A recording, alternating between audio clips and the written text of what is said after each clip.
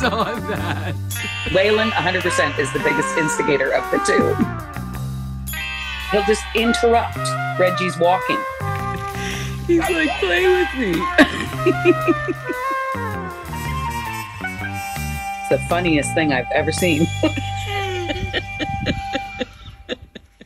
the original gang was Willie, Waylon, and Reggie.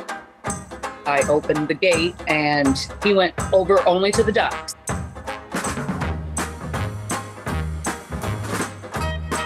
Waylon and Willie chased them around and he would chase them in and chase them around.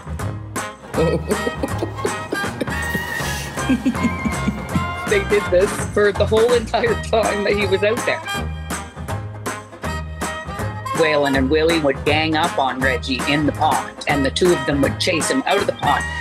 Oh, they got you! They got you!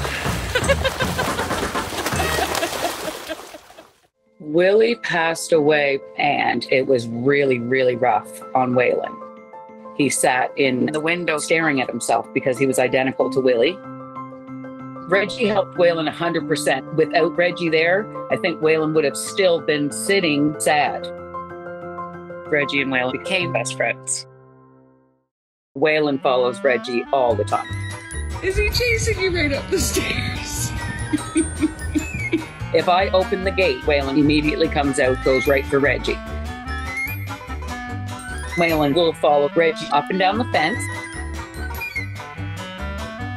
Waylon will pick up so much speed that he brings his wings out.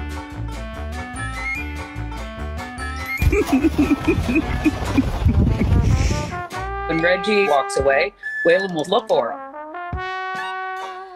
But not one sided ever. It's Reggie minding his business, Waylon comes and bugs, or Waylon's minding his business and Reggie goes over.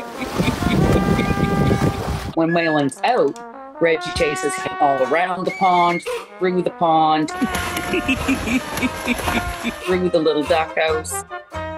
Reggie wants to play 24 7.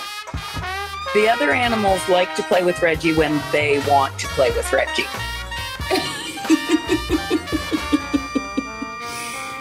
but his best friend is Waylon. As long as Waylon's out there, he's his best friend. Oh no, not again.